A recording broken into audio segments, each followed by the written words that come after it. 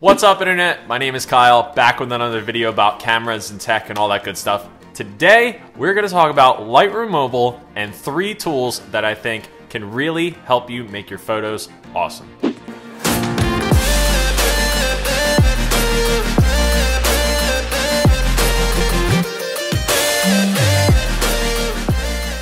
Hello everybody, welcome back to the channel. Um, if you're new here, hi, we make videos about cameras and tech and stuff, as you may have just heard.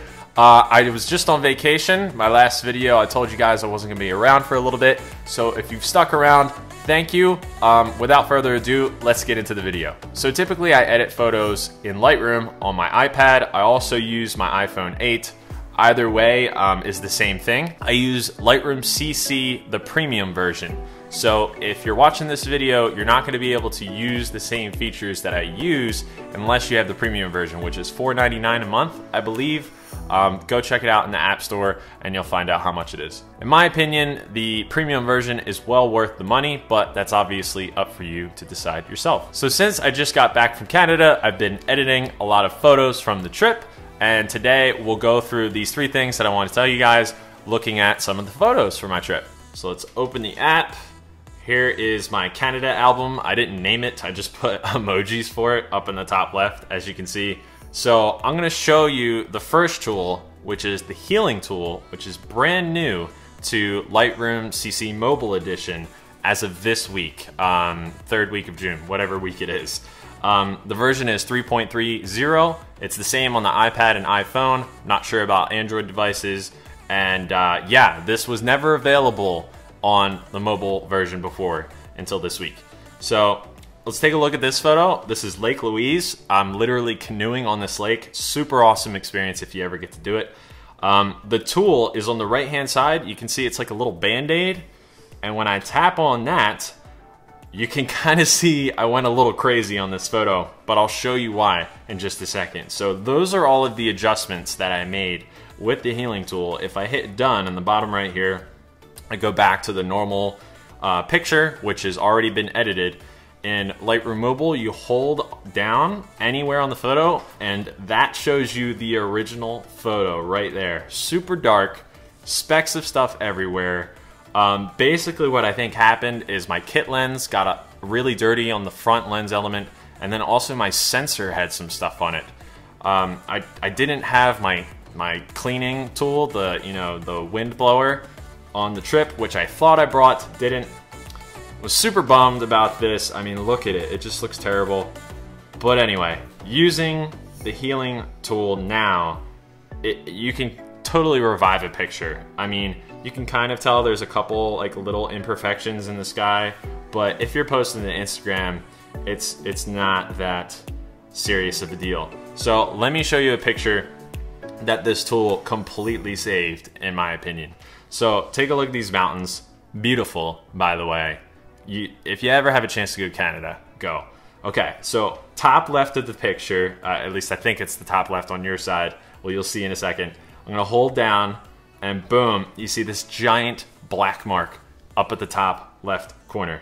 Oh my God. I was like, what is that? It ruined the picture. However, as I let go of the screen and show you the edited version, the healing tool completely fixed that up there. I probably didn't need to make three adjustments up there. I probably could have just did one. Also, one thing to note is if you're using this tool and you use too big of a size, like there's not that much sky to use. So Lightroom's gonna try and automatically pick another spot to put over that spot. So it's taking a piece of the picture that's already there and then putting it over there. So if you don't have a lot of sky, it may not choose another piece of sky to put on top of your piece of sky that doesn't have the good part. So if I use the tool with the big mark there, it tries to take like a piece of the mountain and some of the sky and fix it. It's just no bueno. So yeah, without the healing tool, this photo I feel like would have been a throwaway just because of that giant dark spot up at the top left. So yeah, super happy with it now. Okay, so another one of my favorite features of the premium mobile version is selective edits. Um, this is something you can do on the desktop version as well. You can basically select certain parts of the picture and only edit those. So in this picture, for example, you can select just inside the car mirror and edit what's in there. You can draw on just the sky that's in the mirror and edit that. Um, as you can see, I kind of did it so everything inside the mirror kind of just pops out and everything outside of it, your eye isn't drawn to that part of the image. So it's actually in between the healing and the bottom option over here. So it's the circle with the little dashes around it. So once you hit selective edits, it shows you this screen, which up at the top left, you have your brush, then there's the eraser, uh, the size, the opacity, all that good stuff.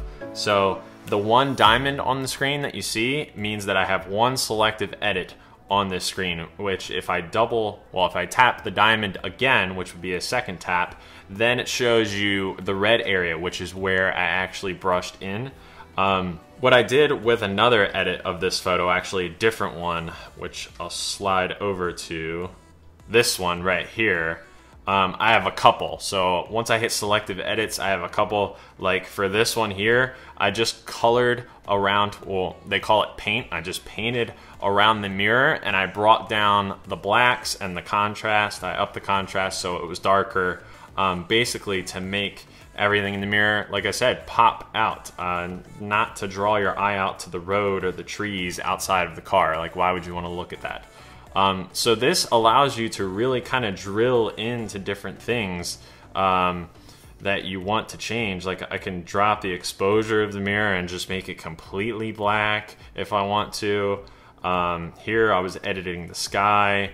Um, you can make the clarity super high for just the sky. Uh, this is what it looks like when it's totally down. It's a little more dreamy looking. So you can really dive in and edit each piece. Uh, you can make the saturation of the sky completely up. So when you have a selective edit there, it's you're just editing that piece and you can really just, mm, you can get that whatever you want, whatever effect you want of the image you can get. I'm gonna bring that back down because that's a little out of control. Actually forget what I had it on, but that looks good to me. So yeah, using selective edits, you can edit certain parts of the picture, get the look you want, and that way when you're using just the normal sliders out here that affect the whole picture, you're not changing everything all at once. Okay, so we did the healing tool and we did selective edits. Third is something that a lot of people use on Instagram is the tone curve.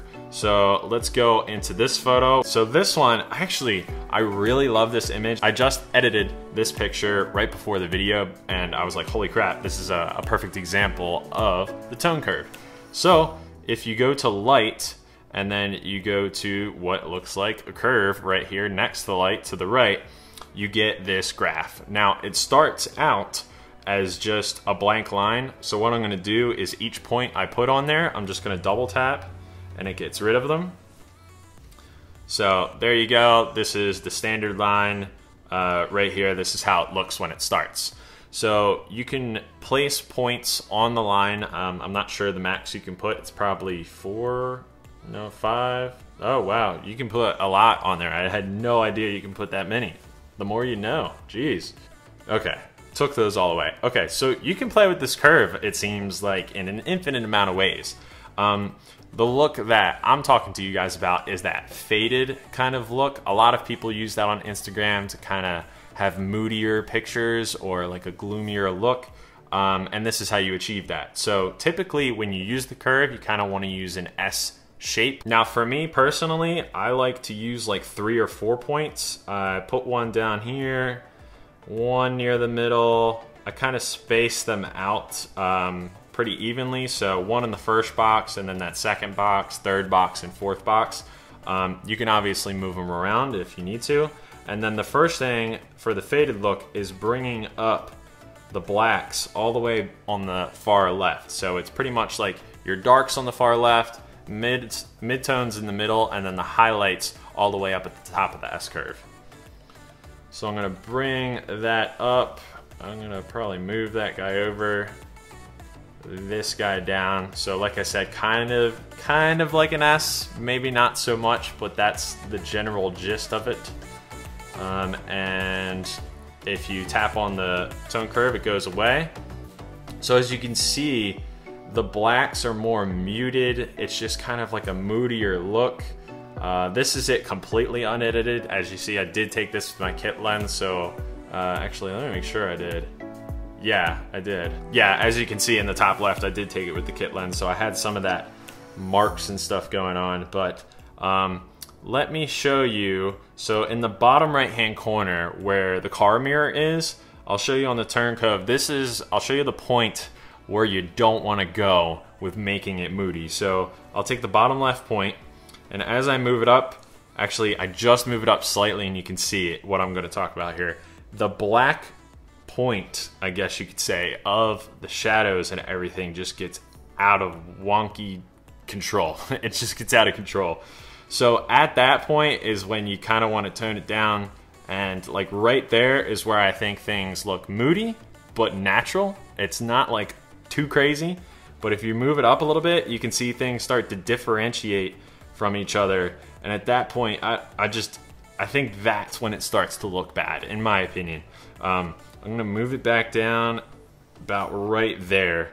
And that's where I think things kind of look natural for the car mirror, but at the same time, the picture's more muted, kind of got those cool vibes going on. I mean, I don't know. I think it's cool, but you may not. So yeah, using the tone curve can give you those faded looks. Uh, I did it on this picture as well. Um, this is the unedited picture, and this is the edited picture.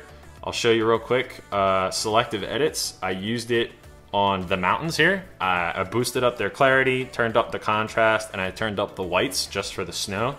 And then, yeah, I just made it a moodier look with the, um, let me get out of selective edits. I made it moodier with the curve here. So it's not exactly an S curve here, but I definitely affected the shadows here. This is what it looks like with it completely down. And then I just played with the shadows a bit and really upped it there to kind of give it a more flat look, which actually isn't my style, I think. I mean, I don't think I have a style just yet, but uh, I do like the look sometimes. Sometimes I don't. Um, I think it it has its place, in my opinion. But anyway, yeah. So these are these are the pictures I wanted to talk to you guys about, and the tools: selective edits, the healing tool, which is just pure magic Oh my god, I, I don't know what I would do without that tool. I pro I would have threw that photo away is what I would have did. So yeah guys, that uh, pretty much concludes this video. If these three things helped you, uh, let me know down in the comments or let me know other things in Lightroom Mobile that you would want to see. Uh, I'm definitely still working on doing a workflow video showing you how I load my pictures in, what I do when I post them, all those different little uh, tidbits. So yeah, keep an eye out for that. Thanks for being patient while I was on vacation and I can't wait to make more videos for you guys. And uh, I hope these tips helped you today. Thanks for watching, guys. I will see you in the next episode. Later. What's what the Harvey? Uh, this is producer Harvey, and uh, he is a big fan of what we're doing here on the channel. By big, I mean he's getting chunky. Look at these rolls. Look at these rolls. Um, Harvey's not a great photographer because he has no thumbs and he can't take pictures with a camera. But uh, he sure is cute. Mm.